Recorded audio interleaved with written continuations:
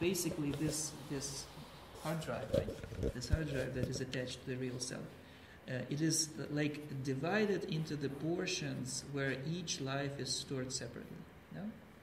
Each life is separated separately and also together. Why it is also together?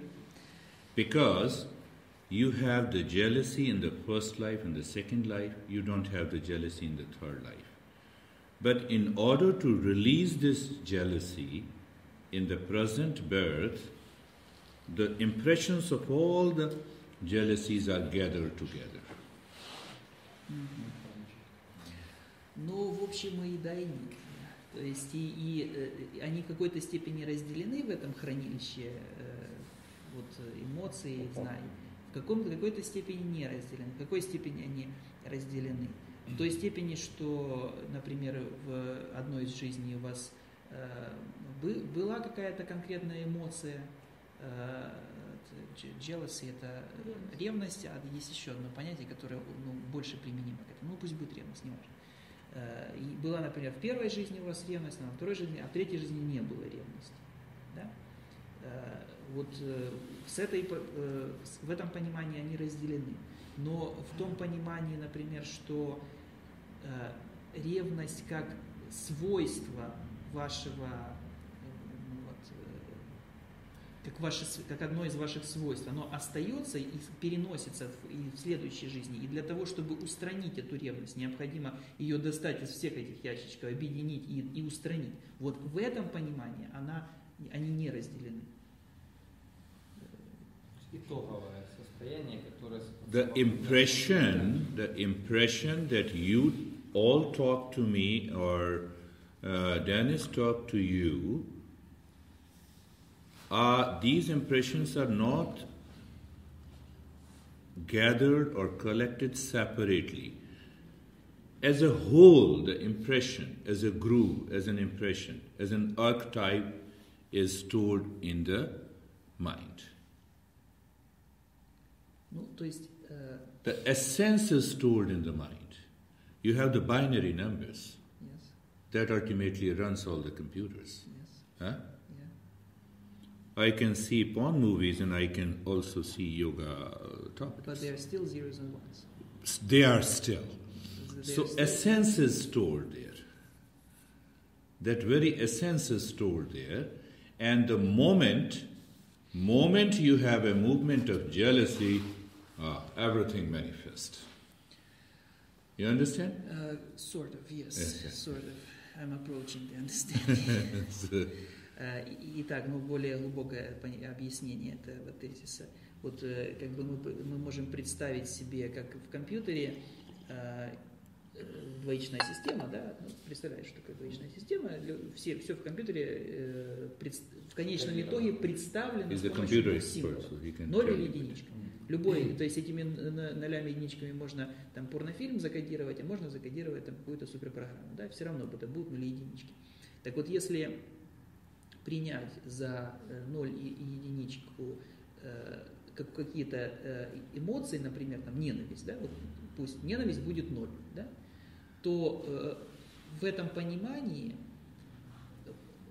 вот как, как эмоция это универсальная единица, которая ну, как ноль невозможно разделить в компьютере, да, он всегда будет как составляющая входить в кучу остальных прав. Так же самое и ненависть, она как единица, она, ее нельзя уже будет разделить никак, между жизнями она не будет разделена, она будет как... Э, пронизывать все жизни, да, да? она будет пронизывать все твои жизни, как, э, как одна из не, не единиц твоего сознания, скажем так, да.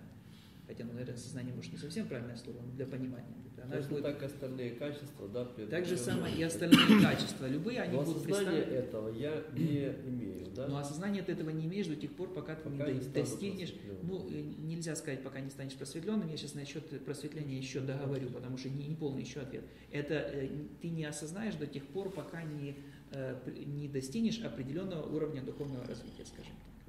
Understand this is another way, that's a very good way. That initially we had um, saw platform. It was Window 95, and we had many bugs into that. Yes. So these bugs are nothing but our ignorance. So then we reinstalled another software platform. We ins- reinstalled Windows 98 with lesser bugs, with a higher speed. But, But what it means that you have done yoga, you are now doing meditation, you are progressing into meditation, but still the past impression comes because of those previous births. Then what you do, you constantly progress into meditation, you reinstall another software, now Millennium, now 2000, now Windows 7. You continue to, you progress. That is a progress. And they remove the bugs and the They, errors. when you, they remove the bugs, the state of enlightenment is there. Окей. Э, Ну, еще один способ это понять. Э, Вот сравним это, например, все знают, э, был, были, была операционная система Windows 95, э, в которой было множество всяких люков заметных. И эти глюки можно сравнить с нашим неведением, кусочками нашего неведения, ну, то есть состоя- замутненными состояниями ума. И вот э, тогда можно рассматривать э, медитацию как э, переинсталляцию ин- и- и- и этой операционной системы, то есть апгрейд. Да? То есть когда мы входим в состояние э, медитации, мы устраняем какую-то часть заблуждений э, путем э, инсталляции там, Windows э, сначала 2000, потом Windows XP, потом Win- Vista, потом Windows 7. да. Вот, мы потихонечку да, переходим на новый, на новый уровень, потихоньку убирая, убирая глюки неведения. Убирая, убирая, мы убирая, убирая. постоянно. Убирая, да, мы как бы выходим на выше, выше, выше, выше, потом, когда все глюки убраны, а врачения устранены, достиг состояния. Настолько совершенствуем программу, No bugs there. No error. Ну да, не, не- речь не идет, а здесь упор не на том, что мы совершенствуем с- собственное знание какие-то, да, мы здесь речь, да, здесь упор идет, ведется на, на том, что мы именно устраняем люки, которые в нашей операционной системе уже присутствуют. А теперь же да, за- закончу еще самый первый э, ответ относительно, э, относительно прос- э, просветления.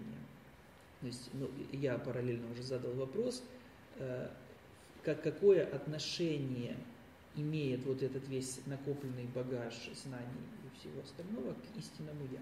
да? То есть как, как эти две категории соотносятся, где истинное я, а где вот эта вся куча, куча мусора. Э, э, Отношение следующее, что истинное я тащит за собой этот багаж накопленный до того момента, пока не наступило просветление.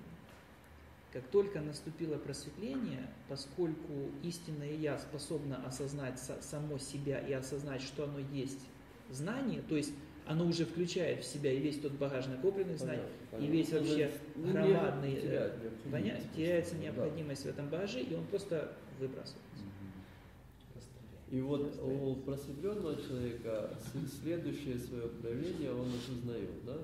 Да, просветленного человека Если- следующее свое он воплощение он может- ос- ну, осознает. пока он ребенок, он же не знает, что он был кем-то там. Да, ну вот он пример как раз относительно ребенка привел, э, что он э, на прошлом занятии рассказывал о, кажется, Шанкарачаре, который э, в возрасте там 12 лет... Ну, он рвался в Гималай. Да, рвался в Гималай, да, и вот он говорит, ну как же, ну, обычный же че- человек, не, не имея весь тот багаж своих предыдущих жизней и багаж понимания того, э, что следует в жизни делать, ведь целеустремленность и устремление, оно тоже формируется с помощью этого, этого мешочка.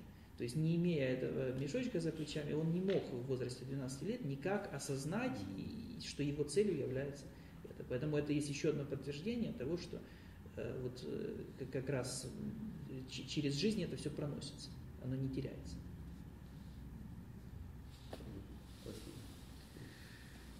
Let us start. Good.